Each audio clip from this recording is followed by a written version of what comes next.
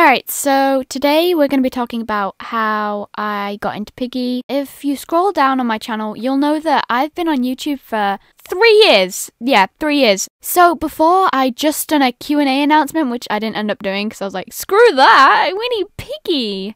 Two nights before I made the origin story, I was playing Piggy, even though I had no idea what it was. I joined, I think it was, um, oh, what's it called? I forgot.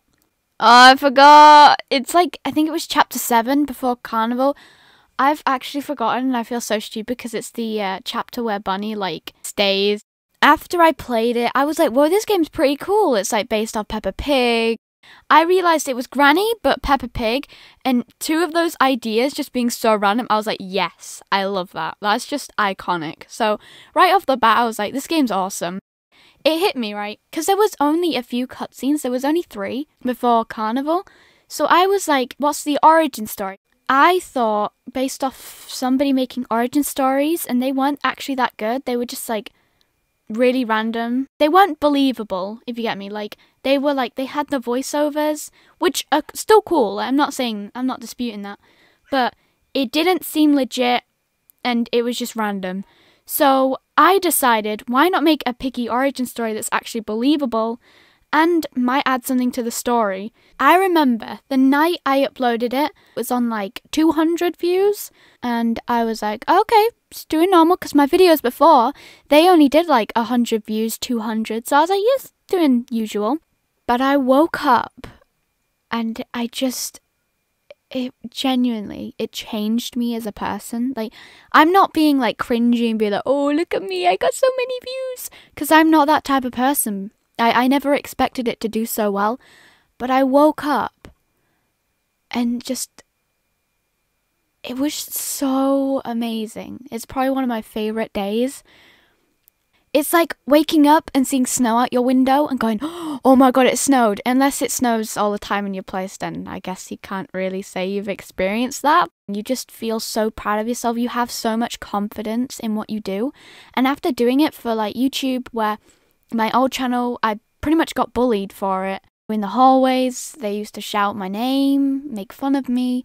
You know, if I could choose between not being bullied, you know, or doing YouTube and being bullied, I would choose being bullied and do YouTube because I'm at my happiest when I make videos. It just, it's something I've wanted to do ever since I was little.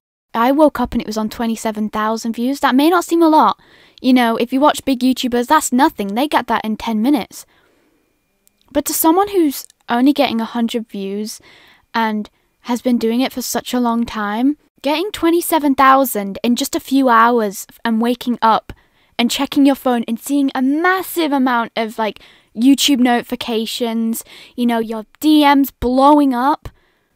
It's one of the best feelings in the world, and I would not change it for anything because without having Piggy, I wouldn't have, you know, met my boyfriend. I wouldn't have the friends I have now. I learned how to animate on Roblox Studio you know, I learned how to use editors that I never thought I'd ever be able to use.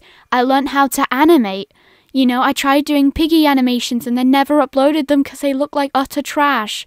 You know, and I never really, in my Kreeky video, I said I'd never really used FlipaClip. I had used um, animation programs on my laptop. They all failed because they were too complicated and I don't have the brain skills for that. It's so much joy. You know, all that hard work paid off all of those nasty words people said to me, all of the horrible things and like the bullying I went through, it all paid off in that moment when I woke up. And you know what I did? I straight up called one of like my best friends. We called and I said, "Look, look how well my video's doing." And I remember she was so shocked. Later on through the day, my parents put my video on the TV. They were shocked. They were like, this is really good. I did the origin story of Zizzy and I just kept going with piggy content. Even though I gave up on the origin stories, my last origin story was, let me see, my last origin story was the origin story of Pickle Rick Skin because I decided there and then I'm not going to do origin stories anymore because of the drama that happened last year. I'm going to say, looking back now, it's nobody's fault, really. I think it was just me being immature, trying to claim something that wasn't mine to begin with. Apologies have already been given, but you know, I still got exposed for it, even though I had apologized. Piggy has been a good, you know, experience, but it's also done a lot to like my mental health personally. I've had dramas, it's not been the best, trust me. So I had the drama with the origin story, so I changed my content to piggy memes. I had the drama with someone else who was copying my piggy memes, copying my kind of copying my thumbnails. I had the piggy meme problem where they were copying, like, some of the thumbnails are copied, it's genuinely obvious. And I'm not calling out names because it happened, you know, back in August last year, and I'm not resurfacing it. I'm just saying, overall, Piggy really has helped me feel more confident in what I do, but it's also brought me down because the whole thing in, I think it was May time, uh, with the origin stories I was really down um, because I had no one to talk to about it except my siblings, but they didn't really understand because, you know, YouTube is a very complicated thing. Like, people think it's easy, it's really not. It's a serious video. Whoa! Serious video on my channel? Whoa! There was a lot of creeps. Uh, I'm just gonna say, i I had this one person who stalked me for a full month on all of my socials, making new accounts every day just to message me, and they said some really nasty stuff. Let me tell you, it was not nice at all. You could honestly tell what their intentions were, and it was not nice. It's it's difficult because then after the piggy memes, I changed it to theories, then just random stuff.